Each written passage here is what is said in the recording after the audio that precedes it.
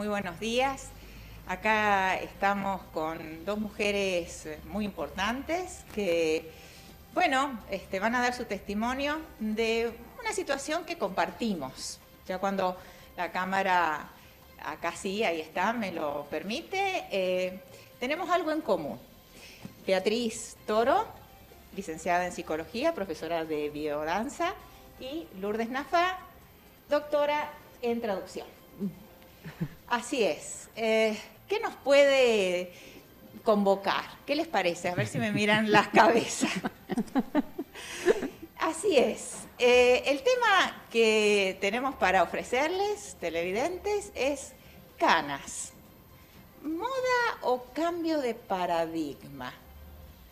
Esto de la pandemia el año pasado, cerraron las peluquerías, eso hizo que, bueno, eh, las mujeres se vieran enfrentadas a sus raíces, a sus raíces, dicho desde el punto de vista más amplio, ¿no?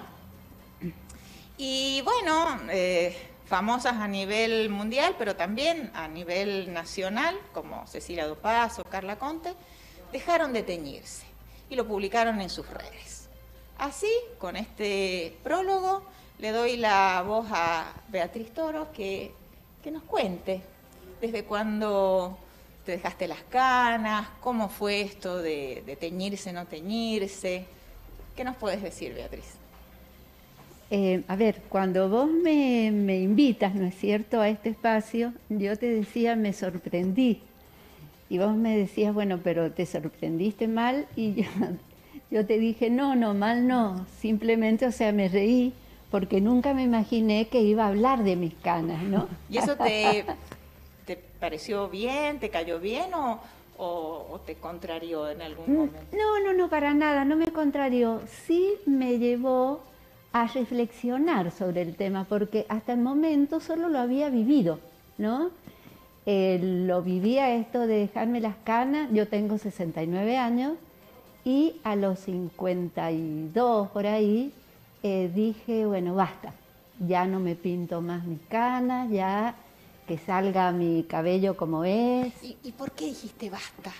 Porque me cansé, a ver, por un lado me cansé, eso en lo práctico, ¿no? Por otro lado, estaba viviendo un momento personal muy difícil, a lo que yo dije, me dije, no, yo voy a poner mi energía acá. Y este acá no era pintarme el pelo, este acá era atender otras cosas, ¿no? Entonces eso eh, lo dejé ahí. Y em, sí me acuerdo porque cuando vos me invitas yo empiezo a hacer memoria. Bien. Empiezo a hacer memoria del momento y de mi proceso, ¿no? Eh, y yo me acuerdo que tuve que afrontar mucha mirada crítica, mucha crítica de todo mi entorno que me decía, pero te ves mucho más vieja, pero ¿por qué no te teñís y te quedaba lindo el pelo pintado? Pero yo me mantuve en lo que yo sentía como necesidad, Interna. ¿no? Interna. Y Lourdes, eh, eh, esto de, la presión del medio para normalizar ese pelo, eh, ¿La sentiste? Eh, sí, supongo que, un poco menos, porque hacerlo hace 20 años quizás que lo hiciste vos, eh, yo lo hice en 2017, hace más o menos cuatro años, en febrero. Fue más que nada por un tema de salud, porque mi cuero cabelludo dijo basta, se me brotaba todo con cualquier tipo de tintura, con o sin amoníaco. Y como llevaba el pelo corto, al final dije, bueno, vamos a probar eh, no teñirme. Y también me dejé un poco el pelo natural, los rulos, porque la transición es tremenda y te, te dice, es peor yo creo en la transición, porque uno tiene un color que venía de antes y eh, las canas que van saliendo en línea recta, como digo yo, porque es el crecimiento. Entonces los rulos disimulaban un poco eh, la transición y, la cara de perplejidad de la gente de qué te hiciste o qué no te hiciste. Em, la pandemia, con esto que narré al comienzo del cierre de, las peluquerías, en fase 1, eh, provocó tal vez estas eh, toma de decisiones de mujeres que venían dilatando lo de dejar de teñirse por distintas cuestiones, por la practicidad, como lo mencionaste vos, por la parte económica, porque, bueno, es eh, un presupuesto. Sí.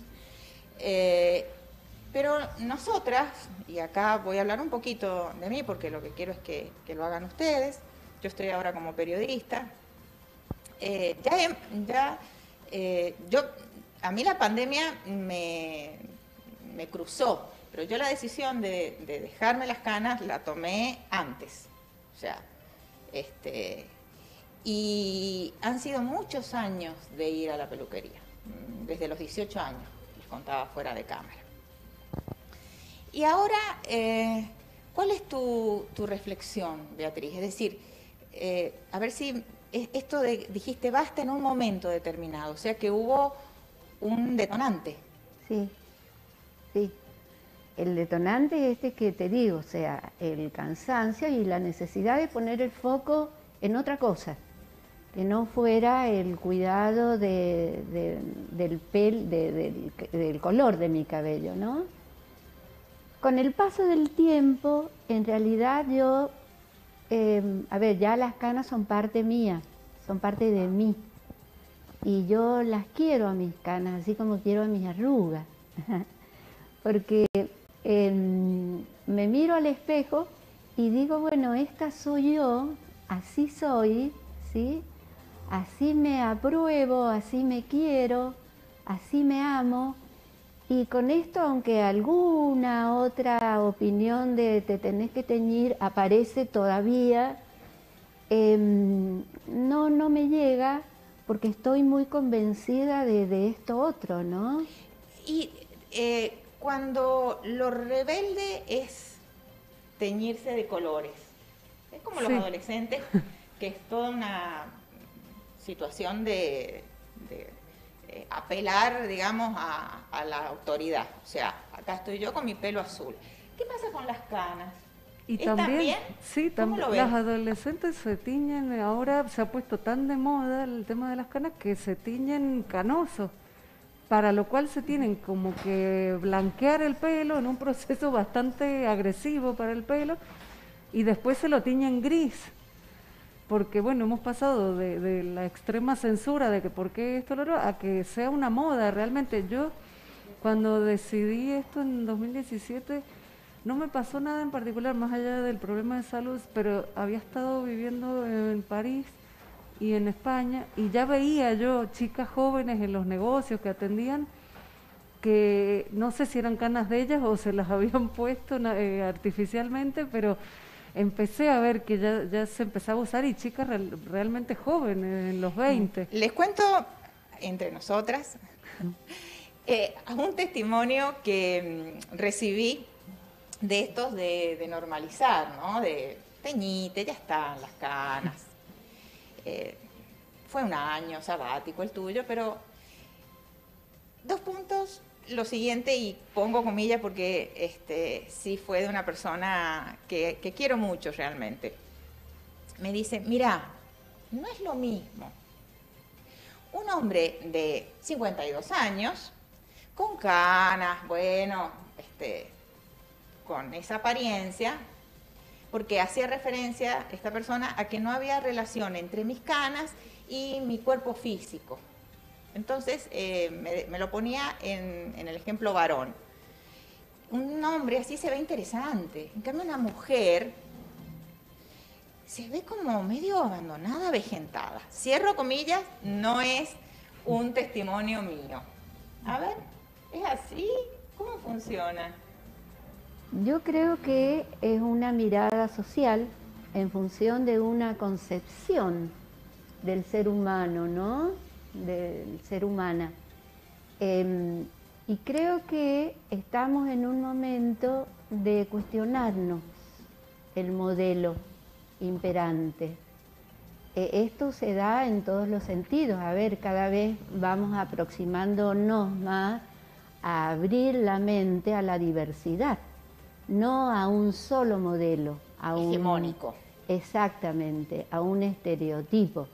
Creo que vamos abriendo la mente a la diversidad. Entonces creo que esto forma parte. Eh, se está hablando mucho, por ejemplo, de romper modelos o mandatos familiares, mandatos transgeneracionales. Y esto es un mandato social, o sea, tenemos que ser de determinada forma para vernos bien. Para no eh, ser distintos, para, ¿no? Para eh, que, todo esté normalizadito. Claro, claro, como la, responder a una norma establecida. Lourdes, esto de dejarse las canas, de no aceptar eh, desde el cuerpo, o la cuerpa, como le dicen, los mandatos, eh, ¿no? ¿Se puede leer en clave de revolución feminista? Y yo creo que sí, que hay mucho de eso de trasfondo, todo este consenso social lleva el nombre de patriarcado, es cómo debemos ser y cómo debemos funcionar dentro de esta mega estructura eh, eh, en la cual estamos todos insertos, no es que las feministas estemos totalmente deconstruidas, hacemos un trabajo constante de, de rever estos patrones impuestos y, de, decir, bueno, realmente eh, mm, me dejo de teñir para prestar atención a otra cosa o para prestarme atención a mí, porque me estoy lastimando con la tintura. Eh, o me dejo los rulos porque me harté de hacerme brushing y aunque mi familia es peor ser ruluda que tener canas, eh, bueno, cada familia es un micromundo. Eh, mis mi abuela, mis tías, todas se planchaban con la plancha y un papel, no sé de qué se ponía, de manteca, creo que era un papel manteca. Porque no había planchitas. Claro, no, no, era la plancha de planchar la ropa. Eh, esta deconstrucción está sucediendo y bueno, van saliendo como emergentes y, yo creo que este tema de las canas, de amigarse con, con lo que uno es realmente, porque y amigarse también con el paso del tiempo yo creo que es mucho más perverso. qué tema. Sí, más perverso con las mujeres que con los hombres. Las mujeres no tenemos permitido envejecer, engordar o amar nuestras canas o nuestras arrugas. Entonces, hacerlo es un acto revolucionario, aceptarse es un acto revolucionario aunque tengo que decir que las críticas de mi parte han venido más de mujeres que de hombres con el pelo, porque los hombres como que, bueno, qué divertido, qué, qué buena onda. La gente joven, yo doy clases en la universidad, nunca, nada. Además, qué buenísimo, yo me las quiero dejar. Bueno, déjatelas. No, no, hay que pedir autorización en ningún organismo. No hay que presentar, ¿no? un, protocolo, un, expediente. Protocolo para... dejar las canas. Eh, pero sí, me parece que viene más de del deber ser mujer, de tantas limitaciones ancestrales que llevamos para funcionar en sociedad. No sé cómo estamos de tiempo, no quiero ir este, contra la parte técnica y dejar así un, tema colgado. Entonces, eh, la pregunta que abrió este eh, segmento era eh, canas, moda o cambio de paradigma. ¿Qué dicen ustedes? Yo tengo una mirada al respecto pero me gustaría conocer la de ustedes. Es decir, eh, has planteado el tema de que chicos jóvenes van a la peluquería para eh, ponerse gris o, plateado. Y a nosotras no nos queda otra porque somos canosas de arranque, digamos. Entonces ahí está comprendida eh, las dos situaciones en este planteo. ¿Vos cómo lo ves, Beatriz? Has dicho perfectamente tu edad, que es otro mm, eh, otro, otro paradigma que también se está rompiendo. No, no, a la mujer no se le pregunta la edad. No sé por qué. O sea, no sé. Si cuando eh, tengo que llenar un protocolo, dice edad, o sea. Em, ¿Cómo lo ves? Eh, las canas, o falta un tiempo todavía para poder responder a esta pregunta. ¿Moda o cambio de paradigma? Y a lo mejor son las dos cosas, ¿no es cierto? Bien. en realidad el mundo de la moda no es un universo en el que yo incursione, o sea, no puedo responder desde ese lugar. Pero yo entiendo que hay intereses económicos, estéticos, de belleza, bueno, todo eso, pero no, no puedo hablar porque no es lo mío. Em, pero eh, sí creo que, em, a ver, por ejemplo, esto de las canas en este contexto de pandemia, mm, yo creo que la pandemia, ¿no es cierto?, nos va llevando, eh, nos va llevando a cuestionarnos tantas cosas. Eh, cuestionarnos, por ejemplo, la conexión de nosotros con nosotros, esto que nos hemos tenido que quedar quietas, a ver eh, eh, si estoy haciendo lo, que tengo que hacer, lo que me gusta, con lo que me siento bien, eh, qué voy a seguir haciendo, además con otro, con otra, ¿no es cierto? yo creo que la pandemia necesariamente nos lleva a esto, a una conexión diferente. Esto, por ejemplo, que el planeta está en rojo, está en peligro, y, todos estamos en el mismo, todos, todas estamos en el mismo barco y entonces entre todos y todas tenemos que ayudarnos para salvarnos, vamos a decir así, ¿no es cierto? Entonces, em, a ver, la conexión de nosotros con la naturaleza, que también es otra cosa que ha, desatado la, la pandemia. A ver, nosotros usamos, abusamos del medio ambiente, de la naturaleza, de los recursos naturales, o somos parte de ella y entonces si lastimamos la naturaleza, nos estamos lastimando nosotros también. Entonces yo creo que realmente hay un cambio de paradigma. Vamos, vamos camino a un hombre, una mujer, a un ser humano, ser humana diferente en una conexión auténtica, en una conexión solidaria. Respetuosa. Respetuosa de nosotros y de otros, porque yo creo que, por ejemplo, esto de las canas, yo no me daño a mí misma y no daño a nadie tampoco, ¿no es cierto? Entonces, este cambio es saludable en ese sentido. Es así. Lourdes, ¿cómo lo ves? Eh, eh, ¿cómo, qué, ¿Qué aporte nos podés brindar? Esto de moda o cambio de paradigma o, la pandemia, eh, podemos leer esto de las canas en clave de pandemia. Em, sí, eh, yo creo que se ha intensificado por, bueno, lo que vos hablabas del cierre de las peluquerías, hay eh, mujeres que realmente no tuvieron otra opción. En mi caso yo me teñía yo misma, con mayores o menores resultados, tengo que decir. Bien porque me pareció una pérdida de tiempo ya desde antes, el tema de ir a la peluquería y demás cada 20 días, porque es así, era así. Em, pero sí creo que son dos cosas, que por un lado va la moda, la gente joven pidiendo, incluso a mí me han preguntado si yo me lo hacía a al mechón que tenía, y eso era más perdonable que que fueran mías. Eh, no sé, porque bueno, según las mentalidades como tú, este testimonio que vos trajiste. Eh, y la moda uniforma, ¿viste? Tenés que usar esto porque se usa. Entonces van y se destiñen el pelo con un tratamiento y se lo ponen gris porque, bueno, es lo que se usa ahora.